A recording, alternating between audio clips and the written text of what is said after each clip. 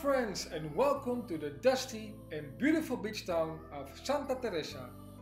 Located on the west coast of the Nicoya Peninsula, this trending beach town is becoming one of the most popular places to visit in Costa Rica. Far away from city lights and airports, reachable by dusty roads, this beach town really gives you the feeling that you are at the end of the world.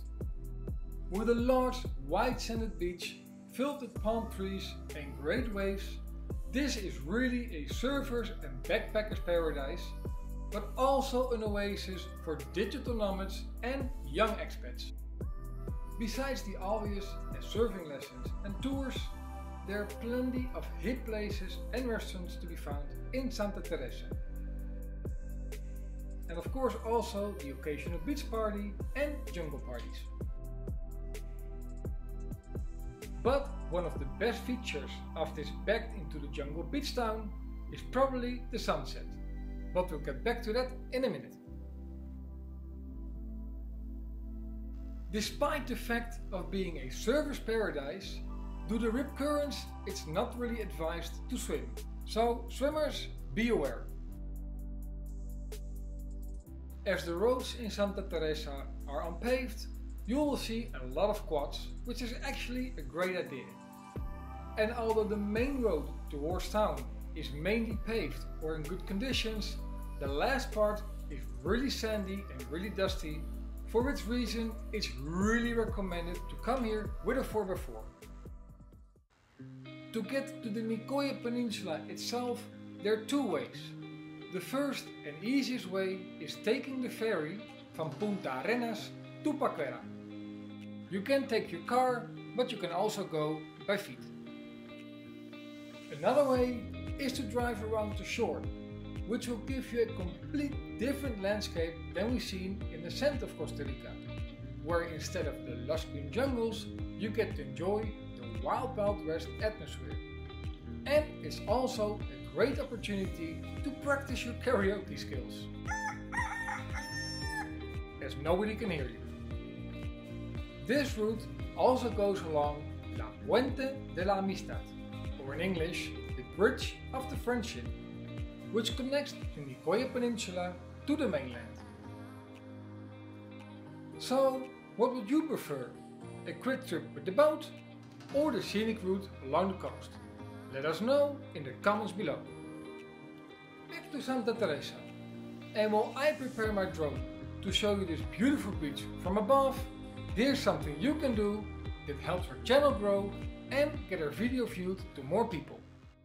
Make sure to smash that like button, subscribe if you haven't yet and activate the notification bell to stay updated on new uploads.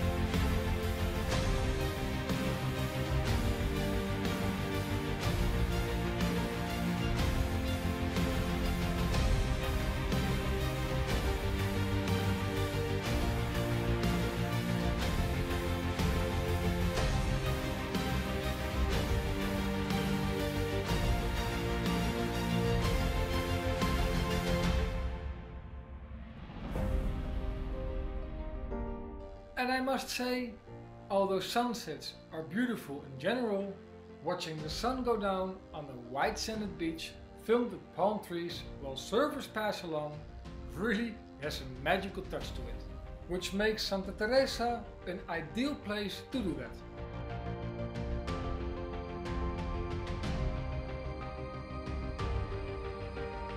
And while we enjoy the final glimpse of this beautiful beach, for now, we prepare ourselves for the long drive ahead to the final area of our road trip around Costa Rica, the Pacific coast, where we're going to show you the best places to see.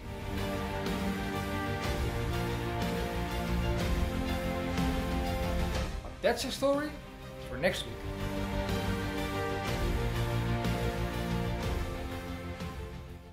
Thank you very much for making the time to check out our video. Make sure to hit the subscribe button and check out our playlist to see more Costa Rica and other travel related content. Pura vida!